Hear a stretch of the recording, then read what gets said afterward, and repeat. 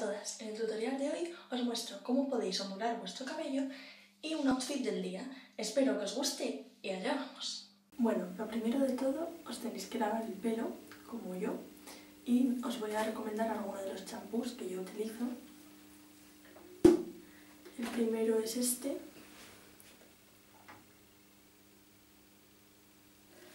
Eh, lo que me gusta de este es que huele a vainilla, es súper suave y te deja el pelo genial con un olor que me encanta. Eh, creo que vale 2 euros o una cosa así.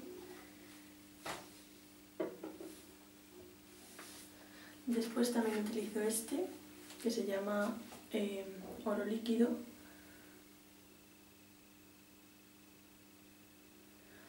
Eh, lo que me gusta de este es que te deja el pelo como muy suave y no sé si conocéis el champú oro fluido, pero eh, la verdad es que está genial, te da brillo al cabello. Eh, este también creo que vale dos algo.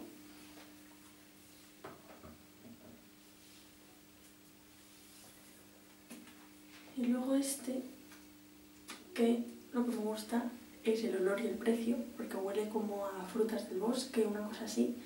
Eh, vale solo un euro y la marca es Sanko.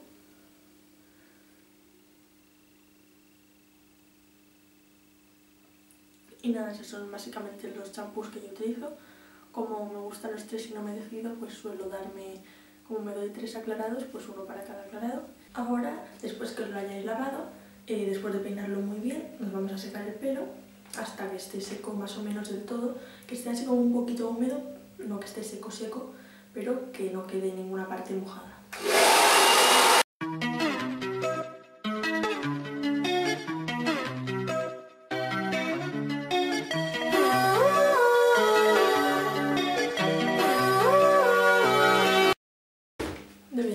Cuando vais parando y os peináis el pelo para que no se queden mucho vuestros rizos naturales y no se os aguante luego el pelo y sea más fácil para peinarlo.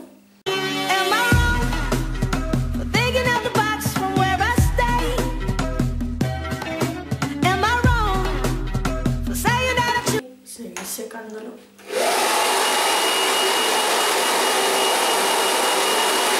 Cuando ya lo tengáis seco y os lo hayáis cepillado un par de veces, porque si yo no me lo hubiese cepillado probablemente tendría el pelo con más rizos y más volumen del mundo. Así que bueno, después de peinártelo muchas veces, lo que necesitas son gomas. Entonces, lo que vamos a hacer va a ser peinárnoslo una vez más.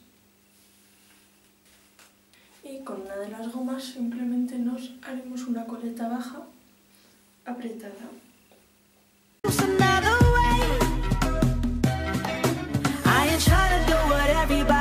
Después peinaremos el pelo que nos haya quedado en la coleta y después iremos poniendo más gomas muy juntas y apretadas.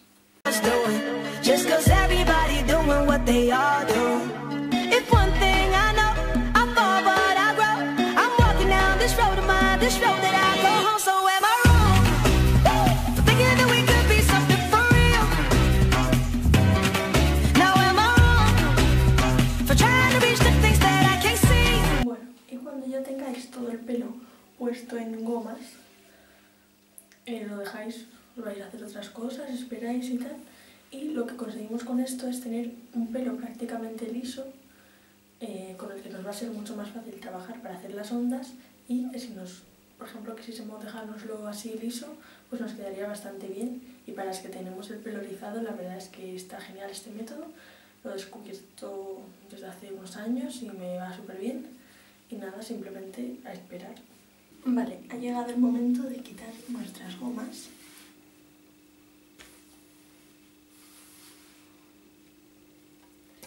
Y ahora lo peinaremos un poquito.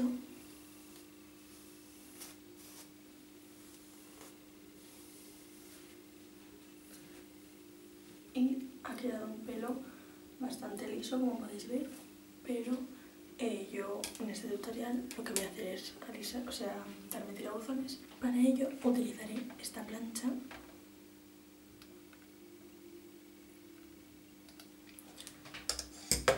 Entonces lo que yo hago es, primero mirar dónde me queda la raya del pelo y dividirme el pelo en dos. Entonces, cojo un mechón pequeño del frontón y lo peino. Y ahora simplemente con la plancha lo meto y antes de cerrar le doy vueltas y ya cierro y cuento hasta 10 y se me ha quedado una cosa así. Y ahora simplemente la cojo y con una pinza me la coloco aquí y sigo haciendo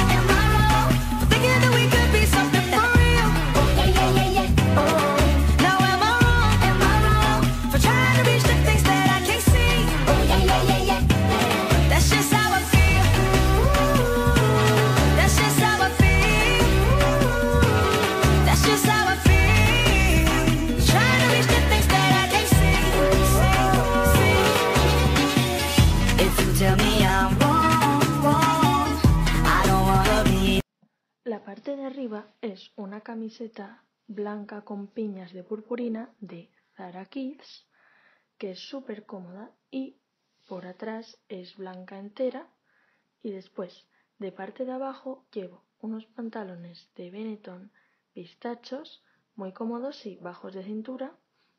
Lo he combinado con unas alpargatas de color marrón con tachuelas doradas de Zara que son muy cómodas y me salieron baratas, creo que unos 10 euros así en las rebajas y después si queréis algo más arreglado podéis combinarlo con estos otros zapatos de cremades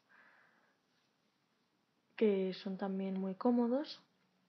Y después si os queréis poner algo en el pelo eh, he pensado en estas flores de H&M que me costaron un euro, son unas horquillas y después también he encontrado estos otros ganchetes eh, verde flúor del corte inglés de la sección de cintas y todas esas cosas.